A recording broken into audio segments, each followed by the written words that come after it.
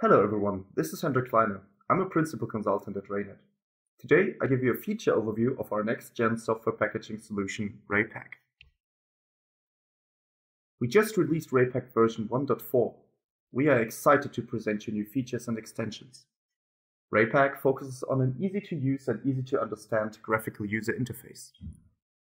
It launches a highly functional home screen containing a tile-based dashboard that offers quick access points to key functions and a user-specific history of recent active packaging projects. In this example, we will take a quick look at the Pack Designer to give you a first impression of the convenient user interface. Therefore, I'm using the recent section to open my last.msi file, which is obviously RayPack.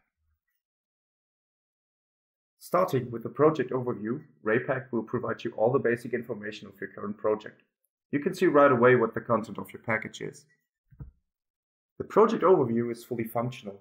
You can start by clicking on any section to start processing your package right away. Let's take the application section as an example. By using the integrated functionality, RayPack makes it really simple to manipulate the application. It gives you a graphical preview of the changed settings and add remove programs on your Windows system. And yes, it's that simple. If we take a look at files and folders, the basic function that this view will provide you is to create, import, delete or rename files and folders. You can add a release note to your installation if you like to.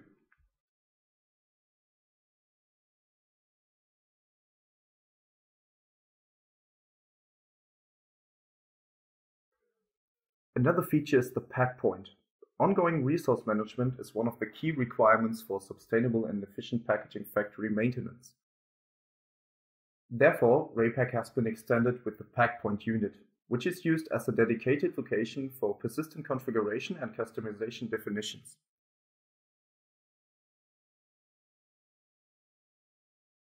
The PackPoint provides support for centralized and independent adjustments to the functional core of RayPack. No matter if a packaging team is spread all over the world or located in a local office, with PackPoint, all shared resources are well structured and administrated easily.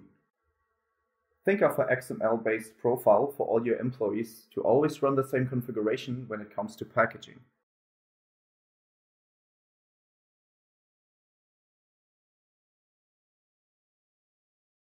RayPack in version 1.4 is capable of building all common formats when it comes to packaging. Files can be built as an MSI, and various virtual packages such as Microsoft AppV, Symantec Workspace Virtualization Package, and ThinApp. Let's go ahead by building a Microsoft AppV package. You simply choose the option Build and Microsoft AppV version 4.6, and RayPack will generate your virtual package that now can be used to virtualize your application. RayPack, with its virtualization package, does not require additional software to build the package in the AppV format. But for ThinApp and Symantec Workspace Virtualization Package, additional third-party software is required. For packaging virtualization, you can choose between various build options, which I will present you later in this video.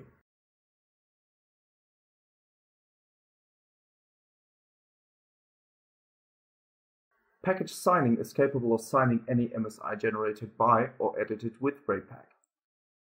Utilizing industry standard technology for package signing guarantees both minimal effort for achieving an authorized software portfolio, and maximal security for the valuable infrastructure assets. In order to make sure that any device within an environment is managed and fully under control, many security guidelines for IT infrastructure demand that only signed applications are deployed to end-user devices. RayPack achieves this by implementing a digital certificate to the build process and therefore authorize the package to be deployed in the target environment.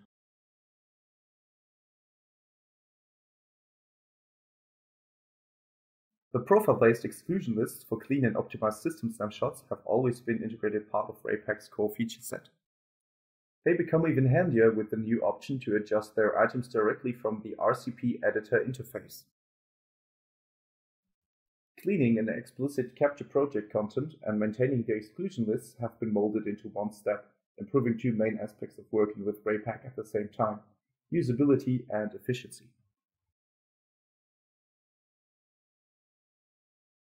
Let's take FileZilla as an example here. We create a new project to capture a legacy setup. You add your application name and the path to the main installer. and by clicking Next you will be guided through the wizard. You select your exclusion list.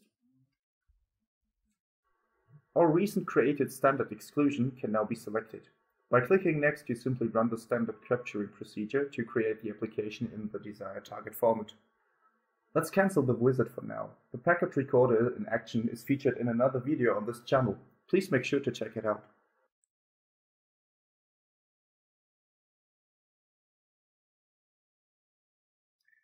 Coming up next is a new extension that is called the Runtime Operations Registry.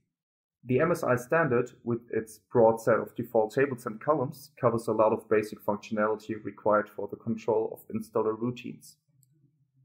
However, removing keys and values from a specific registry hive during an uninstallation procedure is quite a common task, but nonetheless needs a havoc of custom actions and direct table content fumbling with most packaging frameworks. Well, take a deep breath and relax. These days are over for the community of RayPack users. The same clear methods already known from the runtime operations on files and folders have been extended to cover registry objects as well, allowing users to click their way through tailor-made installer routines.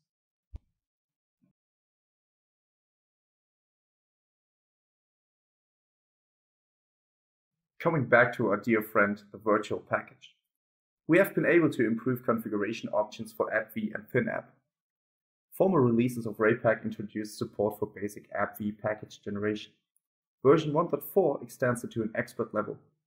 The build option dialog now also contains settings for ThinApp packages. To take a deeper dive here, please make sure to check out our featured videos to see the advantages of our new build options for virtualization packages.